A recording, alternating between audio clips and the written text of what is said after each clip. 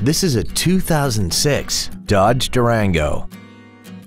This SUV has an automatic transmission, a 4.7-liter V8, and the added safety and control of four-wheel drive. All of the following features are included.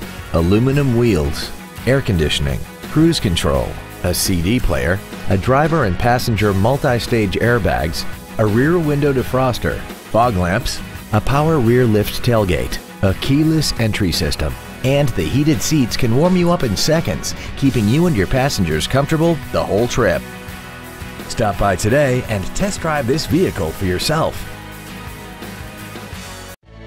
Siemer Auto Center is located at 735 South Broad Street in Fremont. Our goal is to exceed all of your expectations to ensure that you'll return for future visits.